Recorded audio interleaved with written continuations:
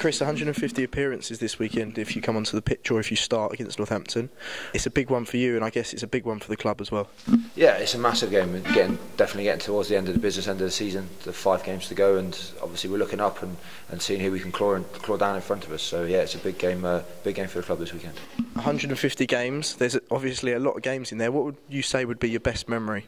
Yeah, it's mad. You think the Premiership's been around for a long time, and to have 150 games and that, it does does seem to add up. And a lot, a lot of them I can't really remember to be honest. Um, probably the worst one was playing for Leeds in 2005 when we lost to London Irish and got relegated. So that was a pretty dismal time. And then the year before in 2004 we played against Gloucester at Kingsholm and had a five point bonus win to, uh, to, to help us out up in the league. So that was a pretty momentous day.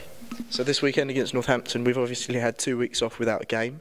Um, how has it felt to not have a game and to be away from the club and then and come back in straight into a big one? Um, yeah, it's, it's, quite nice to get a bit of time away. I think a lot of some of the boys went and got some sun. The lads had a bit of time away from rugby. It's it's good to refresh the mind and the body. And then a difficult week of training last week, and then we're back into a game week again. So sometimes it's nice to have a bit of a break, but everyone comes back chomping for the next match. What are you expecting from Northampton this weekend? Obviously, sort of the same as us results-wise, beating some of the top scalps and slipped up against the smaller ones.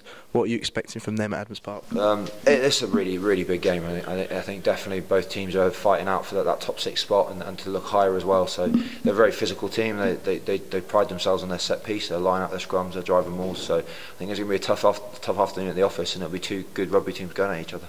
Cheers, Chris, and good luck for your 150th. Thanks, mate. Cheers.